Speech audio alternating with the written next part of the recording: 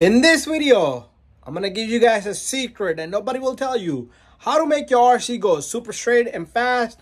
I discovered after so many crashes, after having a 200 some runs and 30, 40 of them being crashes. Uh, all of them not be going so well, but there's gonna be crashes always. But today's video, you guys gonna see a little bit here and there. Um, you're gonna see how my uh, big rock here went straight several times. Forget the big rock. EXO1 also went straight. Check this out.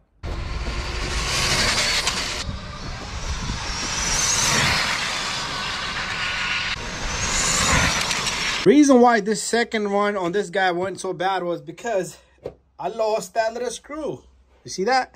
And this little guy, it prevents it from wiggling woggling. And this got so much wiggle woggle because we lost that.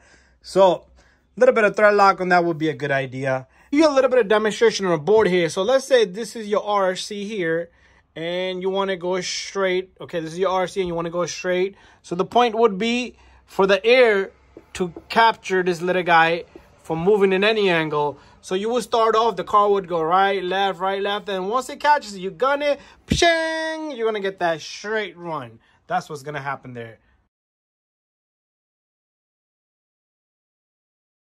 All right boys and girls. So i just discovered something that all of my friends are doing big numbers and i lost touch because i was gone for about a year but i just figured something out.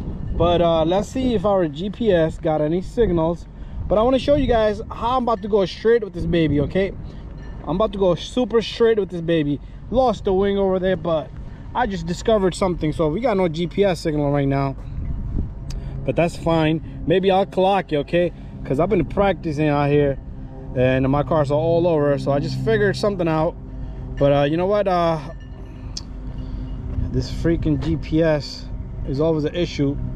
So you guys gonna see now okay you guys gonna see with this my 3s limitless here we're about to show you guys how it's gonna be much much more straighter than ever. And uh come on gps there you go we're gonna track this guy. We're gonna track start stop read zeroed out. We're gonna track start and it's moving. So the key is to get the car lined and not squeeze your trigger till you know you're aligned. And that's what i'm about to show you guys right now. The car is going to be more straighter than any of my runs